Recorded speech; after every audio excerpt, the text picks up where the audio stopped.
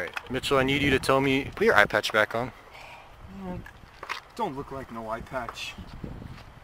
Alright, Mitchell, I, I need you to tell me, what are you fighting for? I'm fighting for all regular sized people everywhere.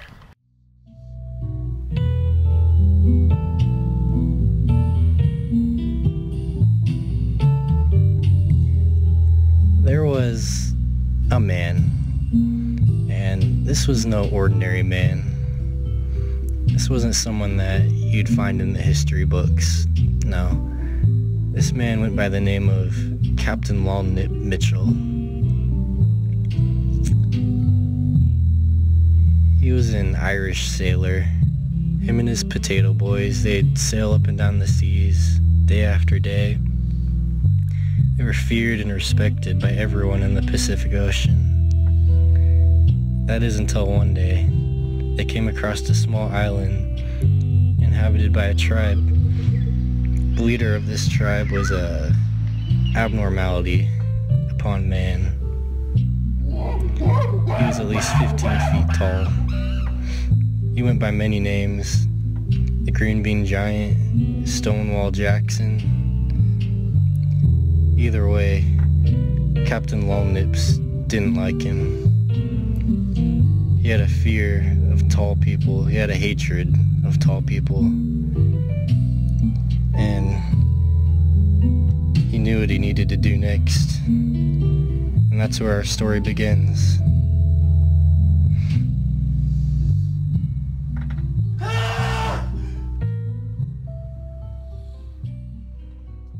No giants, no 10 footers, nothing. This is just mono e mono. Regular sized man versus behemoth. Gentlemen will let me hit their jewel before I duel.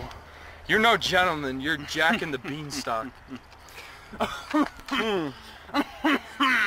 I'd be Mitchell- laughing too if I had a golden goose. Oh yeah? Mm-hmm. Well, I'd be laughing too if I was wearing flip-flops. Ha ha ha! Ha. Okay.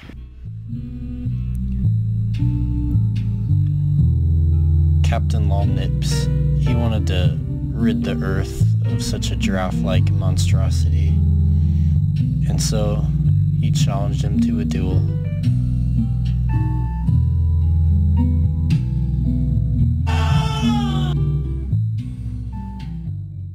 Mitchell, who are you? Me? The world needs to know who you are. I'm Jack the Giant Slayer. That's who I am. Come on, Where's- Bean man. Where's the giant?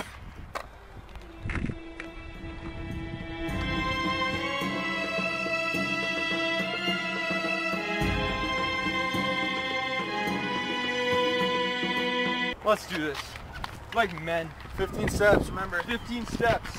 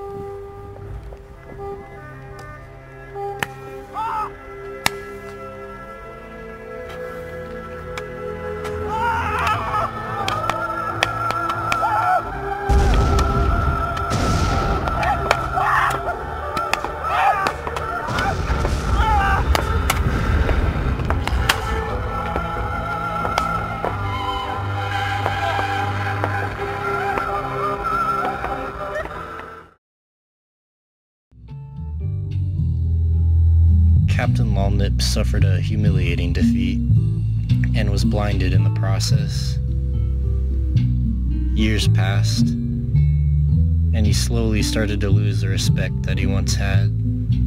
His potato boys would throw him off of the ship, watch him flail around trying to get back and laugh at him. This continued until one day, Captain Longnips decided to go back to the island.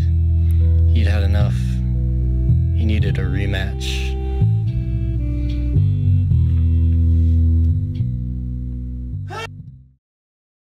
Turns out, as expected, the Giant did have the upper hand on me, but he's not gonna be so lucky this time. I got injured in war. You can see him over there. He's doing his thing. He's, he's, he's peeing on where I fell in battle. So anyway, he's going down this time. This time we got the Mego baby. 100 shots of explosives. Does he know? No. Does I, do, does I care? No. But this is where it's going, and this is how it's going to end. I'm going to get the goose, and I'm going to get the golden egg, and I will be number one.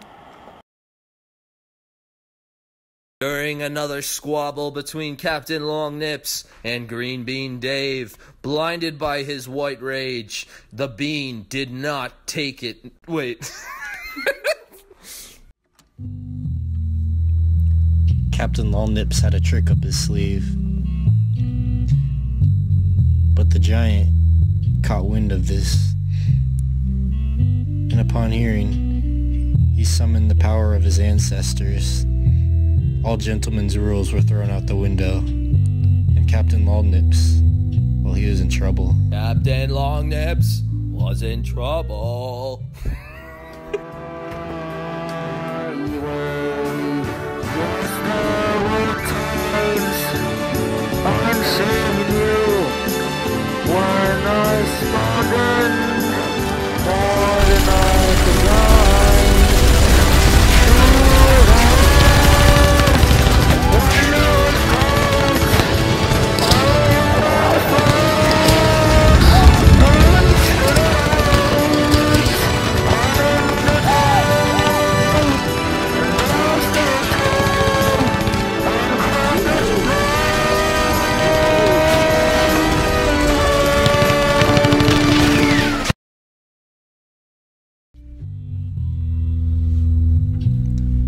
Captain Longnips lost both his legs in that battle and barely escaped with his life.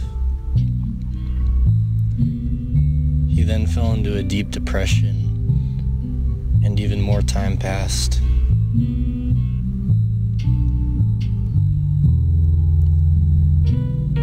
Both Captain Longnips and the tribe leader were approaching the end of their lives, and they both knew that they had to do one last thing before they died. One last duel.